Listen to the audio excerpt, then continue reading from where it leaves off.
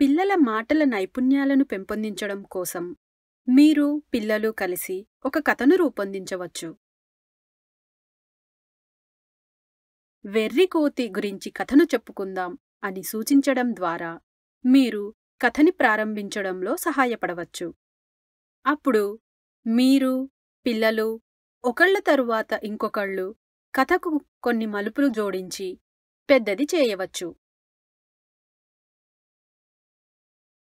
ఉదాహరణకు పిల్లవాడు ఇలా చెప్పవచ్చు. వెర్రికోతి స్నేహితులతో ఆడటానికి ఇష్టపడుతుంది.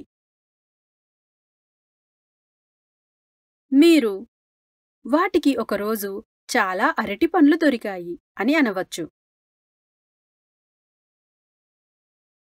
అప్పుడు పిల్లవాడు వెర్రికోతి అన్ని అరటిపండ్లు తినటం మొదలుపెట్టింది అని అనవచ్చు. అప్పుడు మీరు వెర్రికోతి స్నేహితులు తమకు ఏమీ లభించలేదని బాధపడ్డాయి అని అనవచ్చు. అప్పుడు పిల్లవాడు వెర్రికోతి అన్నది నేను అందరితో పంచుకుంటాను అని అనవచ్చు. ఇలా కథను సృష్టిస్తే పిల్లల ఆలోచనా విధానం పెరిగి వాటిని మాటల ద్వారా ఆచరణలో పెడతారు.